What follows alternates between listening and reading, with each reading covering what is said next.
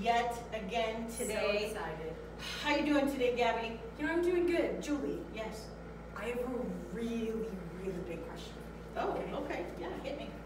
What is your favorite color? Hmm. I actually have two, Okay. uh, blue and red. Okay, but why? So I really like blue if it's clothing because I have blue eyes and wearing blue clothing makes my eyes pop. Um, but if it's an electronic, a computer, a cell phone, something like that, I really like red. Okay, but why? So red is really easy to find. So So why? because it's bright and it's not like but why is it bright? because it is. But why?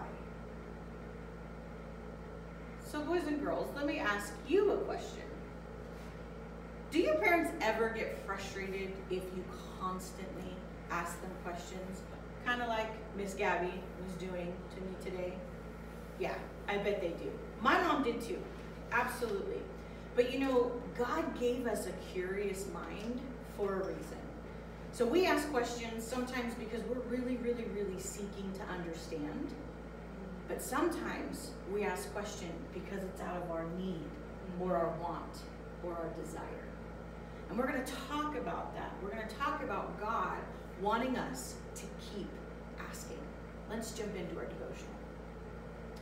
I am with you and within you, doing good things in your life. Even when you're not aware that I am with you, the light of my presence keeps shining brightly on you. And the light has great power.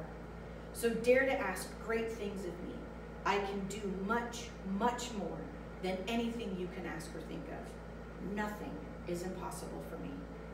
Pray boldly and keep praying in my name. Learn from the widow in the Bible who wouldn't give up. She went to the judge again and again, asking for what she needed. This judge did not care about God or what people thought about him, but because she kept asking, he finally gave her what she needed. If a selfish judge would do that, how much more will I give to my loved ones who cry to me night and day? You may have to wait for my answer, a little while or a long while, but don't quit praying. Keep asking, and you will receive. Keep searching, and you will find. Whew. Wow, that's pretty powerful stuff. Yeah. You know, God says, keep asking, and I will deliver that. Your desire of your heart, I gave those to you, and I will give you much more than just the desires of your heart. But, boys and girls, we have to remember some things we want here and now isn't necessarily the true desire of our heart. That's why God doesn't answer us immediately all the time. Sometimes we're asking out of selfishness. Sometimes we're asking out of an immediate need or an immediate craving that we have, but it's not truly in our best interest and it's not truly a part of God's plan for us. So sometimes our prayers are not answered instantly. Sometimes we have to wait. And sometimes it's a while. And sometimes what God has is actually better than what we wanted. So Isn't that crazy? much better. Mhm. Yeah. Let's give you some scriptures that you can review as a family to dive a little bit deeper into this lesson. Go ahead, Gabby. So the first one is Ephesians 3:20.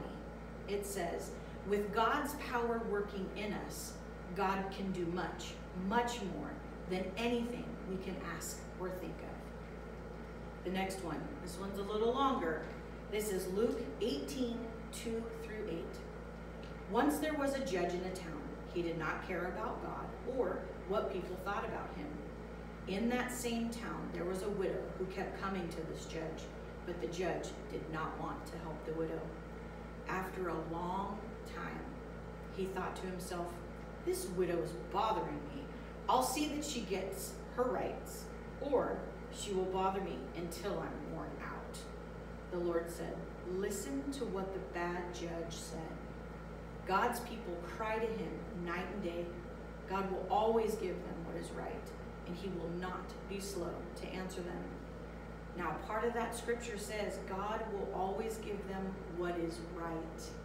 We have to trust that even if we're waiting for God to answer our prayer, that he will always do right by us. He wants nothing but the best for us. And our last scripture today, boys and girls, is Luke 11:10. Yes, if a person continues asking, he will receive. And if he, he continues searching, he will find. And if he continues knocking, the door will open for him. So, boys and girls, I just want to pray over you right now. Even in our moments where we think we know what's best for us, God knows so much more.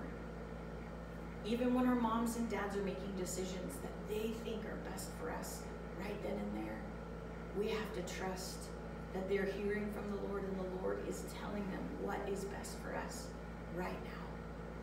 So, boys and girls, I just lift you up. I lift you up and your prayers. Whether you're praying for a really good game, whether you're praying for a super special gift that you just really, really want, or whether you're already praying for your future husband and wife. I just bless those prayers. The Lord hears your prayers, boys and girls, and He wants nothing but the best for you. And Lord, I thank you that you want nothing but the best for us. God, our wildest dreams, you want to go above and beyond those wildest dreams. There's a saying that He wants to bless our socks off, and God, I just thank you that you do. You do time and time again. So, Lord, I just pray for patience in the waiting. Lord, I pray for peace in the waiting. And Lord, I just pray that these loved ones continue to keep asking, for one day they shall receive. We thank you and we praise you in your precious name. Everyone said, Amen. Amen. All right, boys and girls, we will see you next week. Have fun, stay cool. Bye.